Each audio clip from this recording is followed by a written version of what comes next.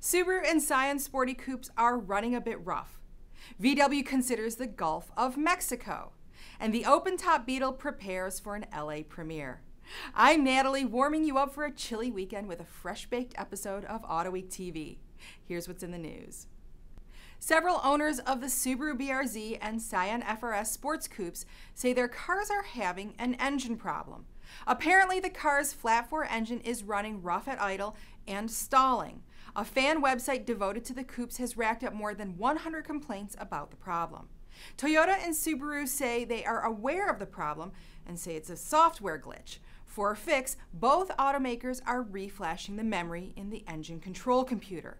But if a Scion FRS has more than 100 miles on it, Toyota is replacing the ECU.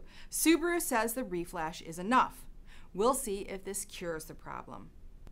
And last week at the Paris Motor Show, Volkswagen rolled out the seventh generation Golf hatchback.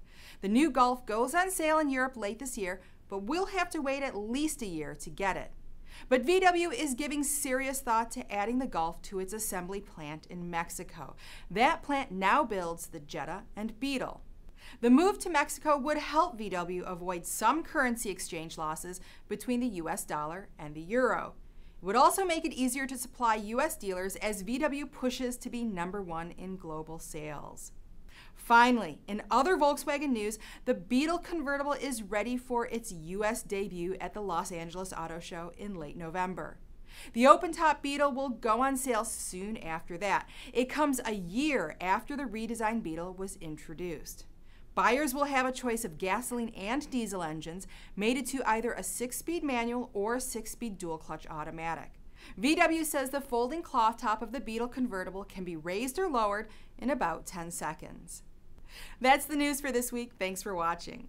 Click onto AutoWeekRacing.com this weekend to keep up with the action in Formula One and NASCAR.